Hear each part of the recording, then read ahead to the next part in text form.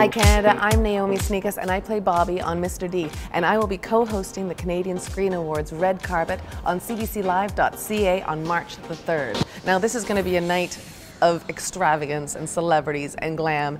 And so I have come to the room at Hudson's Bay to talk to Megan and to get a little bit more glam. What's your inspiration for your red carpet look? I wear a lot of track pants as Bobby and Mr. D and I feel like I feel like that's Yes, I can bedazzle those. Yes, I can, but I feel like I can do better than that. Well, we've pulled a selection of stunning gowns for you to try, really picking up on a lot of those red carpet trends. So first is definitely color. We saw Gorgeous. Jessica Chastain in a beautiful sapphire Roland Mouret gown at the BAFTAs. This is also Roland Mouret. We also have embellishment here. We saw that also in Anne Hathaway's gown that she wore for the SAGs, which was a stunning Giambattista Valli couture piece. Not to be mistaken with the gown she wore in Les Mis, which was not, not a designer. Nice. I don't think more of a rag. We've also pulled this great L'Wren Scott. Tina Fey wore L'Wren Scott at the Golden Globes. Everything's so amazing and I can't wait to try them all on.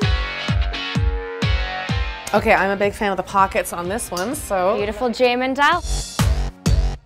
It feels like if I'm on the red carpet, it might need to be a little bit more. No, I think we can do better.